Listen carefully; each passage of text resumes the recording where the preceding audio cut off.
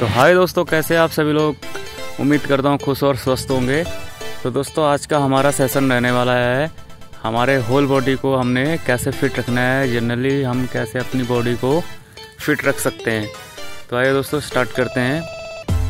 तो सबसे पहले हम साइड टू साइड जंप करेंगे, जो हमारी होल बॉडी एक्सरसाइज होती है, जिससे हमारा whole body muscles group involve होता है और अच्छी खासी ये फिटनेस के लिए अच्छी वर्जिश मानी जाती है। तो दोस्तों, आप लोग भी इसको ट्राई कर सकते हैं। नेक्स्ट हमारा हो गया सिंगल लेग टग जम्प जिसे हम alternatively left and right leg को कंटिन्यूसली जंप अप करते हैं। तो दोस्तों, यहाँ पे हल्की बारिश भी यहाँ पे हो रही है, मौसम भी थोड़ा सा ऐसे ही है। तो थोड़ा सा मुझे वीडियो शूट करते हुए दिक्कत हो रही है तो चलो कोई बात नहीं। देन हम उसके बाद स्ट्रेट लेग जंप करते हैं। वाह देखिए दोस्तों, कितना अच्छा मौसम हो रहा है। ऐसा कोई ज़रूरी नहीं है कि हमको फ़िज़िकल एक्सरसाइज के लिए कोई पर्टिकुलर जगह की ज़रूरत पड़े। तो दोस्तों नेक्स्ट हम एक्सरसाइज स्टार्ट करते हैं साइड टू साइड ट्विस्टिंग के थ्रू जिसमें हमारा लगभग अपर पार्ट इन्वॉल्व होता है, जैसे कि हमारा लेटेस्ट मसी एंड हमारी ग्लूट्स मसल्स बैक हमारा क्या है इन्वॉल्व होता है जो हमारी हेल्पिंग मसल होती हैं। इसमें सारी मसल्स इन्वॉल्व होती हैं जो एक अच्छी एक्सरसाइज होती है। तो दोस्तों नेक्स्ट एक्सरसाइज अभी हम करेंगे बेसिक पुशअप्स जो हम नॉर्मली करते हैं, जो हमारी बाइसेप्स ट्राइसेप्स मसल्स के लिए बहुत अच्छी एक्सरसाइज है, जिसके थ्रू हम अपनी स्ट्रेंथ को इंक्रीज कर सकते हैं।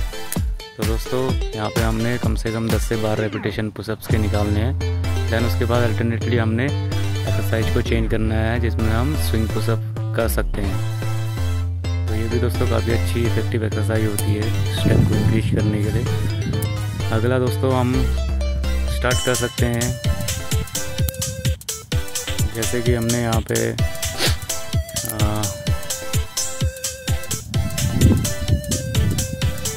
टक जम वर्टिकल टक जम के साथ हम इसको स्टार्ट कर सकते हैं। जो कि सेम सिमिलर जो है, हमारी होल बॉडी एक्सरसाइज है। इसके थ्रू हम दोबारा से अपने होल बॉडी मसल्स को इन्वॉल्व करते हैं। ये भी हमारी पूरी होल बॉडी के लिए एक्सरसाइज होती है। तो दोस्तों, यहाँ पे थोड़ा सा मुझे दिक्कत हो रही है वीडियो शूट करते हुए, क्योंकि यहाँ पे मेरे साथ कोई कैमरामैन है नहीं। माफ़ी चाहूँगा तो दोस्तों नेक्स्ट एक्सरसाइज हम एबडोमिनल मसल्स के लिए करते हैं, जिसमें हम firstly side to side situp कर सकते हैं, जिसमें हमारे लेग्स ओपन है, ताकि हमको जो है कंफर्टेबली जो है सिटअप करने में दिक्कत ना हो और इतना ज़्यादा हमें स्ट्रेस ना हो मसल्स में और हमारा माइंड सेट भी अच्छा बना हो, जिसके लिए हम कंटिन्यूसली 10 से 12 रेपिटेशन इसके भी करते हैं सेट टू सेट सिटअप्स के। नेक्स्ट दोस्तों, अभी हम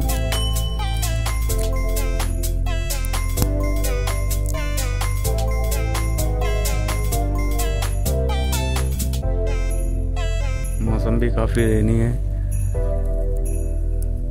दोस्तों इसको हम अपनी इस जनरल फिटनेस को घर पे भी हम इसको कर सकते हैं। ऐसा कोई ज़रूरी नहीं है कि हम जो है कोई पर्टिकुलर एरियाज़ जो है या किसी ट्रेनर के अंडर में ही काम करें। ये हम बेसिक अपने घर बैठे बैठे भी इस एक्सरसाइज को कर सकते हैं। तो दोस्तों, आइए अब हम शुरू करते हैं नेक्स्ट एक्सरसाइज जिसमें हम करेंगे single leg and V situps सब तो सबसे पहले हम अभी करेंगे बोथ लेग वी सिटअप्स जिसमें हमारा बॉडी का पोस्चर जो है वी शेप में आना चाहिए।